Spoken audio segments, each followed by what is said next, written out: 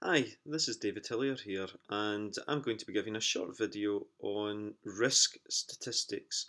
And this is in particular uh, with reference to the financial markets. I'll be looking at uh, one measure which is used everywhere in corporate finance, and that's called variance. And I will also be talking about another measure called value at risk, and that is used really in the banking sector. It's not used in non-financial uh, institutions, but I like it, and I think it's a good a good way of looking at risk. Now, what is risk? Well, risk is variability. It's uh, the risk that you'll lose something, but it could also be the risk that you gain something. And if you've got more variability, you're more likely to gain a lot or lose a lot. And you can see in my um, the right hand of the screen there, I've got the time series of the FTSE 250. That's the, the green one. The FTSE 250 is smaller companies on the London Stock Exchange. You also see the time series of the FTSE 100, and that's the red colour. And FTSE 100 is the largest company, an index of the largest companies on the London Stock Exchange. So we would always say that smaller companies tend to be riskier than larger companies. And if you look at the time series of the large versus the small, this is large, this is small, then you can see that the larger companies are less variable or have a less variable time series of values than smaller companies. So that's a, a good way to think about risk. It's the the extent to which you have upside and downside movements. There is a concept of risk called systematic risk that I'll cover later on in the video series, and that is uh, called beta, and that is related to the the equity risk uh, of a company. But for now, we're just going to talk about general risk, and that is the variance. So, how do we calculate the variance? Well, the variance is calculated using this formula. And it looks complex uh, at first, but it's actually fairly intuitive. What you're doing is you're trying to capture upside and downside movements, and a, a good measure of risk uh, or variance is that the larger the upside and downside movements, the larger the risk measure. And variance does that. Now, how does it do that? Well, first of all, it looks at each observation and its deviation from the mean set of observations. And looking at the formula, you've got the first observation minus the mean, the second observation minus the mean, the third observation minus mean, and so on. Now, if you do that uh, and then add these up, let's say the mean for the FTSE 250 is roughly about um, 240 here. And upside deviations will be positive, downside deviations will be negative. Now, if you add those together, the up the positives and the negatives cancel each other out. And so that's not a good risk measure because you could have a lot of variability, a lot of upside, a lot of downside, but adding them together you get a small number. So the variance formula squares those deviations so that whether you have an upside or whether you have a downside, you've still got a positive squared deviation. So then you can add those up, and that means that the greater the variability, the greater the measure of risk. And you can see that's what happens here. It's just the squared deviation added together. And then we get the, the last point, which is dividing it by the number of observations minus 1. Why do we take away the number of observation uh, 1 from the number of observations? Well, that's because we have a sample. And we're using time series data with our sample period, in, in this um, on the screen here, you can see that it's December 95 and it goes all the way up to April 2014. We, we do have data before December 95 and we will have data beyond April 2014. In fact, I'm doing this video now in the, the end of May 2014. So, you know, the period, the data will go on, so that means that we only have a sample and the formula then subtracts 1 to reflect the degrees of freedom. Now, I won't go into more detail in that in this this video, but if you're interested, then look up any statistics book, or uh, even just on YouTube, uh, look on uh, a YouTube video on variance.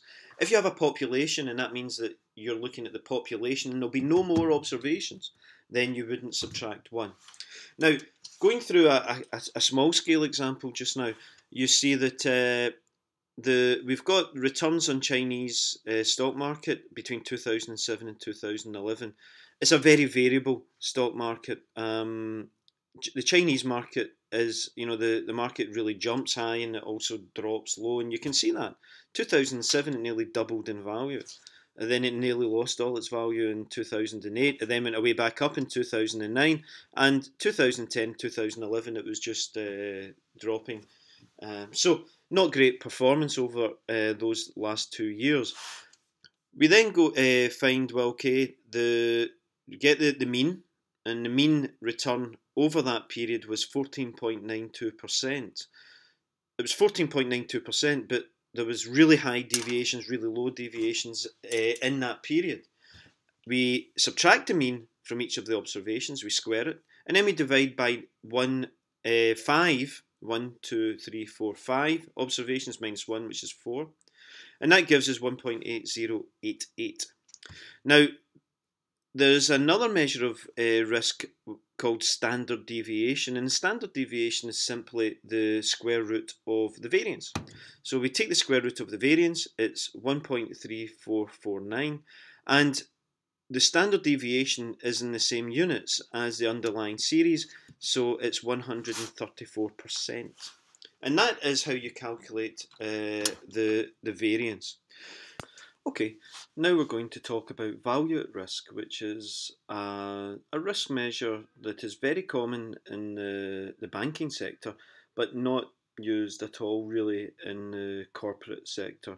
However, I think it is a very good measure and it captures some of the concepts of risk that maybe variance doesn't capture. And specifically, it concentrates on downside risk.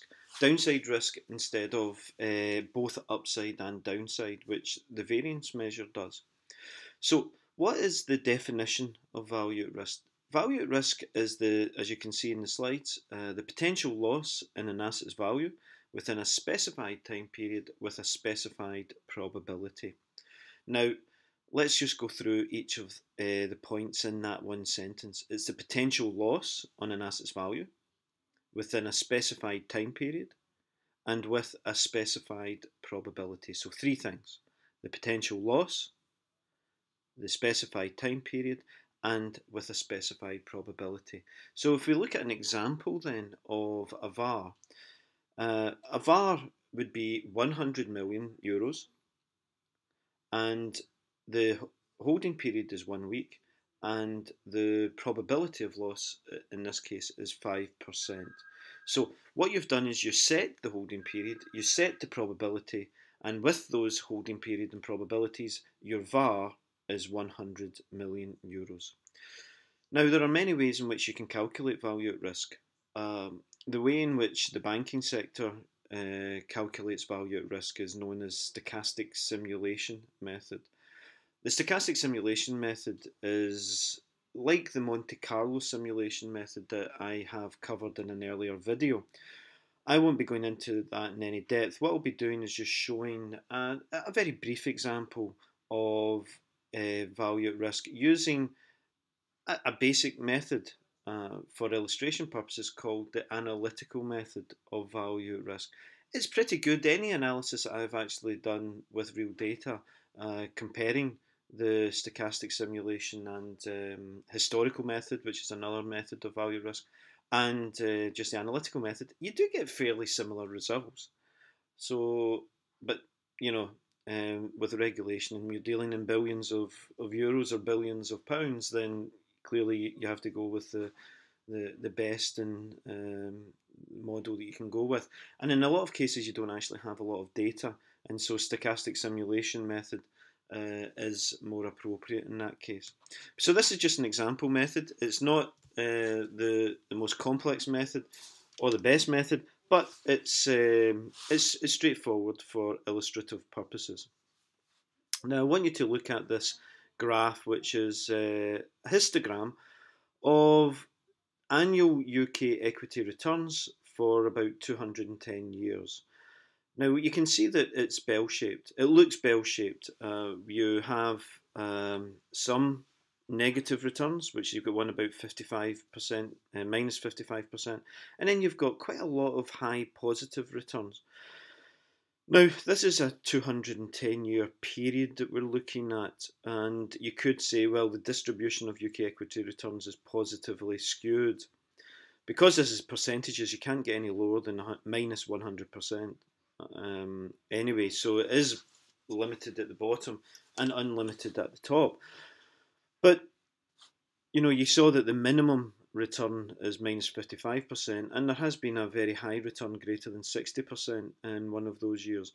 You could argue that, well, you're looking at 210 observations here.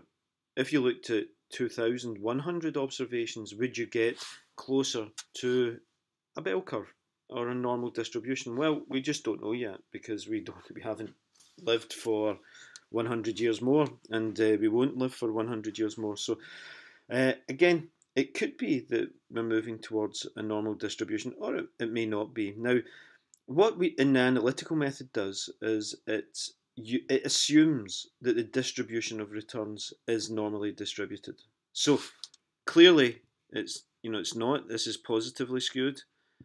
Um, but the assumption there is that it's normally distributed. And if a distribution is normal, then you can describe that distribution fully using just two measures. Those two measures are mean and standard deviation. And standard deviation, I have just explained what that is in uh, just a few minutes ago. So you can explain everything about the distribution using those two measures. And the way in which you, you can describe a distribution is by saying what percentage of observations occur within a number of standard deviations of the mean. So forget about the figures, uh, the percentage figures at the bottom. That's linked to the example I used in, in the textbook. But what I want you to focus on is the 0, the minus 1, sigma, plus 1 sigma. Sigma is the symbol for standard deviation. And so what we say is if a distribution is normally distributed, then 68.26% of all observations that you'll see will be within one standard deviation of the mean. You then can say that 95.44 uh, percent of all observations will be within two standard deviations of the mean, and 99.74% of all observations will be within three standard deviations of the mean. Now, value at risk only focuses on the downside risk, so it's not really interested in the upside risk. So if we say that, say, 99% of all observations are within a certain number of standard deviations from the mean, then that means that 1% of all, uh, all observations are outside of that. So that means that those observations are in the tail. So if we look at uh, this case and we say that 99.74 observ- uh, percent of observations are within three standard deviations of the mean, that means that 0.26% of all observations are in the tail. And the tail is greater than three standard deviations away from the mean. So 0.26%, that is 1 minus 0.9974. 0.26% of all observations are in the tail. And if we then just want to look at the downside risk, what the, the one of the tails, then we've got to half that. We've got to divide that by 2, which would be 0.13% of all observations are in the tail. Now, the analytical method of value at risk wants to focus on, they, they say, well, going back to the definition, the potential loss in an asset's value with a specified time period with a specified probability, if we were to say 5% probability, and that means that the what the loss would be in the tail, it would be the 5% tail, given that the distribution is um, symmetric, then you're saying 10% on, on this side, 10% on that side. So no, sorry, 5% on this side, 5% on that side, which gives 90% of all observations inside the boundary, 5% here, 5% there. And in value at risk, we only really look at 1%. So if there's 1% here, that means that here there's all 99%. But given that we're, uh, we are symmetric, you would uh, to follow the same type of logic, then we would have 1% here, 1% here, that's 2%. And so what we want to do is we want to find the number of standard deviations uh, from the mean that where there are 98% of all observations uh, in that boundary. And the number is 2.33. So 2.33 standard deviations from the mean uh, contain 98% of all observations. And that means that there's 2% in the tails, 1% in the downside, and 1% in the, the upside. So our key number here is 2.33. And what we're going to do is we're going to say, well, okay, value at risk is really the value which is at 2.33 standard deviations here.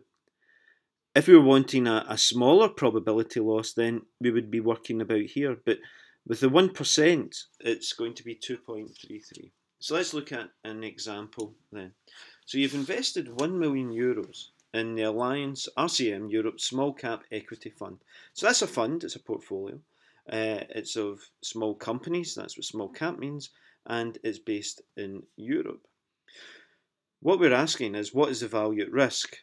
So the value at risk, we're looking at holding period and we're looking at um, the percentage probability.